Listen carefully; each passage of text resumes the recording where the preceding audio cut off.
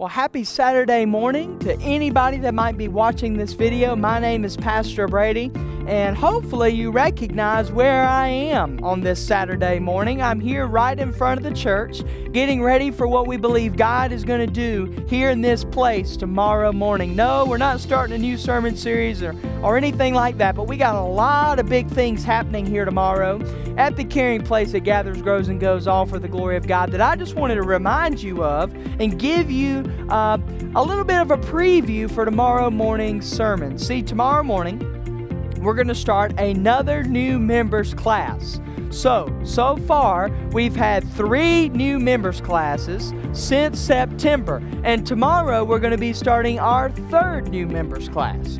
And we're going to start that at 9:45 a.m. in the morning, and that's going to be upstairs in the youth room. I'm so excited because we have 18 people that have registered for this course. This course lasts 4 weeks, and this is our course for anybody interested in our church who wants to become a member of our church. We spend 4 weeks looking at our operational structure, our doctrinal stu- structure, salvation, baptism, and all those different things about our church that gives anybody all the information they need in order to officially become a member of our church. So that class will be at 9:45 a.m. in the morning. And of course, in addition to that class that I'll be teaching, we have 16 Sunday school classes, excuse me, 14 Sunday school classes that you can choose from to attend. We have classes all the way from small babies to all the way to senior adults. So Sunday school is a really big deal here at the First Baptist Church of Gaston, and we want you to come and be a part of Sunday school at 945.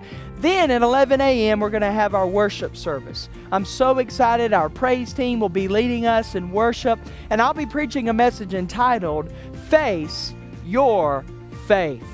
See, we need to face our faith, and we're continuing in our sermon series entitled Faith to Move Mountains. We're continuing in the book of James, and I want to invite you if you're going to join us in worship tomorrow to read James chapter 2, verses 14 through 16. And in that passage, I think James describes three different faiths. And we need to face our own faith and see which one of those faiths that James describes, which one our faith fits in.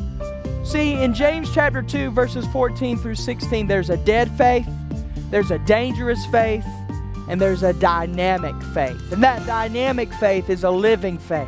A faith where the Holy Spirit lives inside your heart and you're working for our Lord and Savior Jesus Christ. The dynamic faith is a living faith. So we're going to look at that tomorrow, and I'm really, really excited. Face your faith. And then at 3 o'clock, over in the fellowship hall, we're going to wrap up our biblical hermeneutics class. We've had seven weeks studying biblical hermeneutics which is how to interpret the Bible. And we've been looking at that for three weeks or seven weeks. And tomorrow we're going to wrap that up at three o'clock. It'll be our last lesson in biblical hermeneutics.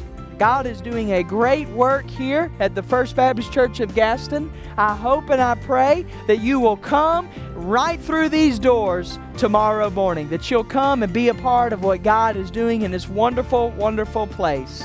And don't forget, it's the caring place that gathers, grows, and goes all for the glory of God. This has been Pastor Brady, and I hope you have a wonderful Saturday, and we will see you right here tomorrow morning.